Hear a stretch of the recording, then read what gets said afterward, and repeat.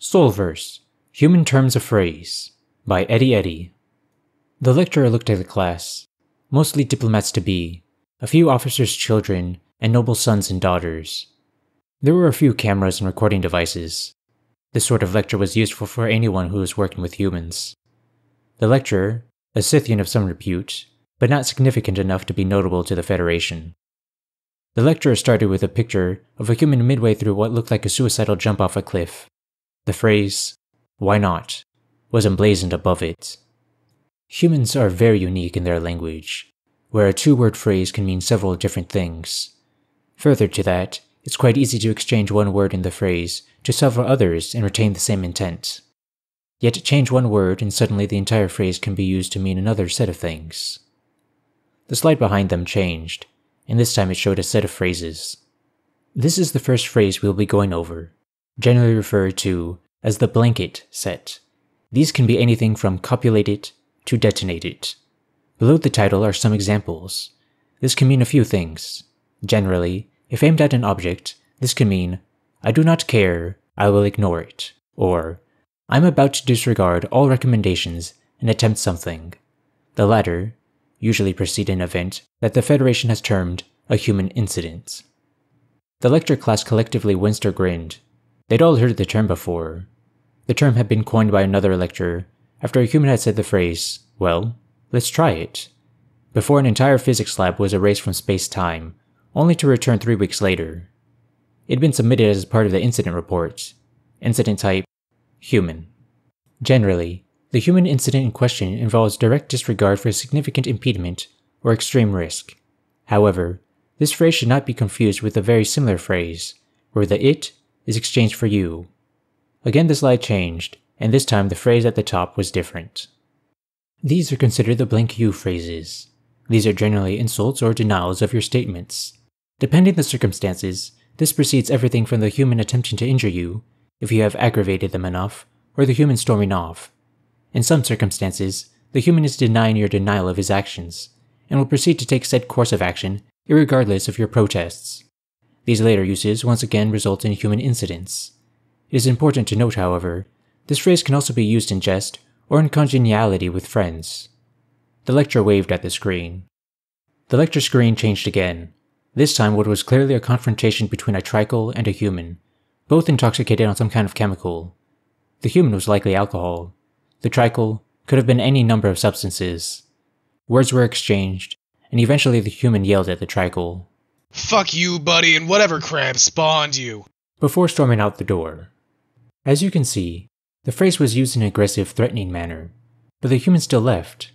When a human uses one of the blank you phrases, you will have to use a series of context clues, as well as your knowledge of that specific human, to gauge what its next course of action will be. The slide changed again. This time it was a human, midway through charging a rather angry looking monstrosity from their homeworld.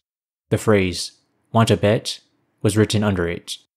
One of the more famed human phrases, want a bet, is used to indicate that you, or another, has stated that the human cannot or is incapable of doing something, but the human believes it is possible, and has taken your disbelief as an insult. This generally results in the human attempting the very thing that you stated they were not capable of. This always precedes a human incident. An example is as follows from the incident report on Vefit 2. The lecturer picked up a datapad and started reading. Situation Report Planet Vefit 2. There's been a disruption in interstellar communication due to an incident involving a human ship's officer, several Korsk, and a Tricle officer. According to witness testimonies, the human ship's officer was drinking, claiming that the local communication net was so worthless he could take it apart with nothing more than a pair of pliers and wire clippers. An altercation started between the human and the Korsk. Eventually, the altercation was broken up by the Tricle, who was an officer within the local communication network. After hearing something about this, he told the human that it was impossible. The human's response was, Want to bet? Give me 10 minutes in any of the communication rooms, some pliers, and wire clippers, and it'll all go to pot. The officer, being somewhat inebriated at the time, allowed this, but did not tell the human that the communication room was disabled at the time. Despite this, the human had made some modification to the global communications net. That means that any visual communication displays the sender without any clothes or garments whatsoever. The lecturer stopped and looked at the class. If a human ever asks you if you like a bet, the safest response is to decline. The class looked at each other, certain that while it was the safest, it might not be the most amusing. Human turns of phrase are also used to create shorthand phrases or descriptions of processes. For instance, it is well known that humans will choose to give close associates shorthand names that are either descriptive or a play off the person's name or attributes. I will not be going over these to keep things short, as every species and creature has at least one. The lecturer paused and shuffled her notes. Now, there are several dozen other phrases that humans use. I will be covering one more, and the incident that introduced you to the Federation. Your short term coursework is to produce a docket containing no less than five human phrases and their common meanings and uses. Extra credit is available for attaching incident reports involving the phrases. The lecturer moved on to a new slide reading Die now or later.